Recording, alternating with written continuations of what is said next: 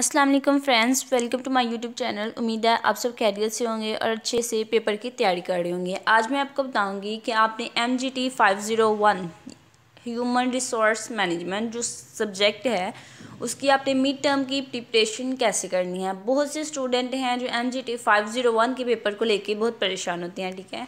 तो सबसे पहले तो आपने ये करना है कि आपने बिल्कुल भी परेशान नहीं होना। मैं आपको बताऊँगी कि आपने किस तरह से इसकी तैयारी करनी है और क्या टिप्स हैं जिन पे आपने अमल करेंगे तो आपका पेपर जो होगा वो बहुत अच्छा होगा, ठीक है? मैं अपना पर्सनल एक्सपीरियंस जो है वो आपसे शेयर करूँगी।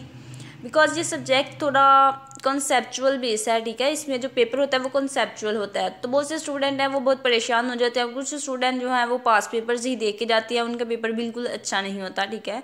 तो मैं अब बताऊँगी आपको आज के क्या टिप्स हैं जिन पे आप अमल करेंगे तो आपका पेपर जो होगा, वो बहुत अच्छा होगा। अच्छा सी जी पी आप इस सब्जेक्ट में गेन कर सकते हैं। बिल्कुल भी डिफ़िकल्ट सब्जेक्ट नहीं है ये। तो सबसे पहले मैं आपको बताती हूँ कि इंटरेस्टिंग बात जो है इस पेपर की M G T five zero one की। ये है कि एम जो आपका मिड टर्म का पेपर होगा, वो टोटल कितने मार्क्स का होता है? फोर्टी का। ठीक है? तो इसकी इंटरेस्टिंग बात ये है कि ट्वेंटी एट मार्क्स के जो आपके एम सी क्यूज़ होंगे। जो ट्वेल्व मार्क्स रह गए वो आपके क्वेश्चंस के होंगे। इट्स मीन के फिफ्टी से भी अबव पार्ट जो होगा, वो आपका एम की बेस पे होगा। इसलिए मैं आपको बताना चाहूँगी कि आपने क्या करना है, आपने ज़्यादा से ज़्यादा एम प्रिपेयर करने हैं। बिकॉज़ क्वेश्चंस का फिफ्टी परसेंट भी नहीं है, ठीक है? और जो एम सी क्यूज़ हैं, वो फिफ्टी परसेंट से भी अबव हैं। टोटल फोर्टी मार्क्स का आपका पेपर होगा, जिसमें से ट्वेंटी एट आपको एम सी क्यूज़ आगे, आएँगे और ट्वेल्व मार्क्स के आपको क्वेश्चन आएँगे। क्वेश्चन भी जो होंगे वो कॉन्सेप्चुअल होंगे। तो अब मैं आपको बता दूँ कि आपने इसके हैंड आउट्स जो हैं, वो कैसे उनको प्रिपेयर करना है, कैसे एम सी क्यूज़ की आपने तैयारी करनी है। सबसे पहले तो आपने इसके पास पेपर जो हैं M G T five zero one के, उनको बिल्कुल भी नहीं देखना, ठीक है? बहुत से स्टूडेंट्स ऐसा करते हैं कि M G T five zero one का जब पेपर आता है, ठीक है अदर सब्जेक्ट जो हैं, ठीक है, उसके भी आप लोग क्या करते हैं पास पेपर्स प्रिपेयर कर लेते हैं, उसमें से आपके एम सी क्यूज़ या क्वेश्चन आ जाते हैं। लेकिन ये जो एम जी टी का सब्जेक्ट है, इसमें आपका पास पेपर में से बिल्कुल भी एम सी क्यूज़ नहीं आएँगे, ना ही कोई क्वेश्चन आएगा। क्वेश्चन कंसेप्चुअल होंगे एम सी भी कुछ कंसेप्चुअल होंगे, कुछ डेफिनेशंस होंगी, जो आपको हैंड आउट से ही आप प्रिपेयर करनी होंगी। तो अब मैं आपको बता देती हूँ कि एम की तैयारी के लिए आपने क्या करना है? पास पेपर्स आपने बिल्कुल भी नहीं देखने और डेफिनेशंस देखनी है। उसके बाद आपने क्या करना है? हैंड उसको कम्प्लीटली रीड करना है।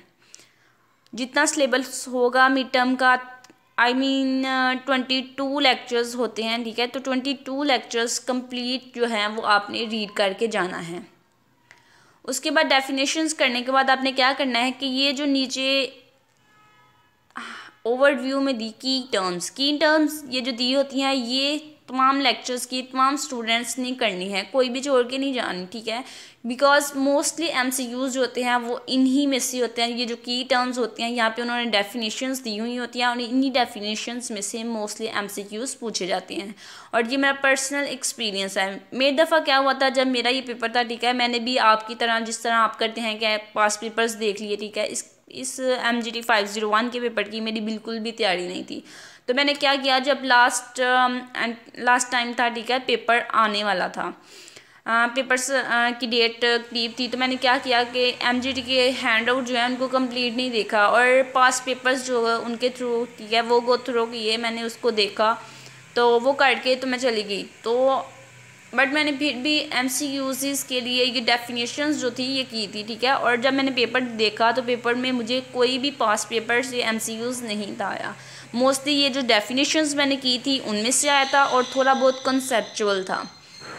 तो जब आप डेफिनेशंस करेंगे डेफिनेटली आप कंसेप्चुअल जो एम होंगे, उनको भी खुद सॉल्व कर सकते हैं। और जब आप एक दफ़ा हैंड आउट्स रीड करेंगे दो फ़ायदे होंगे एम भी आपके हो जाएँगे और जो आपके कंसेप्चुअल क्वेश्चन होंगे, वो भी आप खुद राइट कर सकेंगे इसलिए M G T five zero one की तैयारी के लिए आपने बिल्कुल भी पास पेपर नहीं देख लिया और इन टिप्स पर अमल करना है, जो मैंने आपके साथ शेयर किए हैं। तो इन आपका पेपर बहुत अच्छा होगा अच्छा सी जी पे आप इस सब्जेक्ट में गेन करेंगे। चैनल को ज़रूर सब्सक्राइब करें, वीडियो को लाइक करें और अपने फ्रेंड्स के साथ शेयर कीजिएगा।